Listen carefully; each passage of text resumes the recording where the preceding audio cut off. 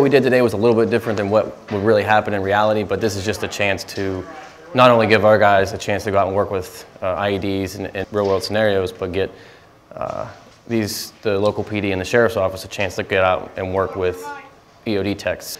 We have similar procedures whether we're Army EOD or ATF or local bomb squad. We've got a lot of similar things we can do, so this helps benefit them as well to get them out and learn how how to work with IED related scenarios and having access to an actual bomb squad.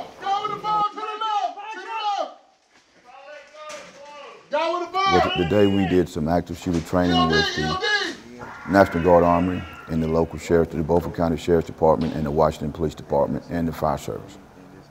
Over the last few years that, um, that I've been here, we've really forged that connection to know that they are really an asset for us if we need them.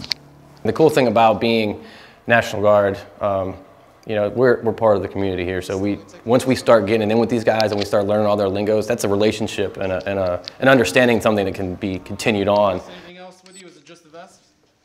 That's all we put on. Just right here, nothing under your skin? Really, I feel really, really good about the way the guys and the young ladies performed today. Um, we wouldn't be able to do it without the help of the local EOD unit here in Beaufort County because we don't have that type of asset in, in our department.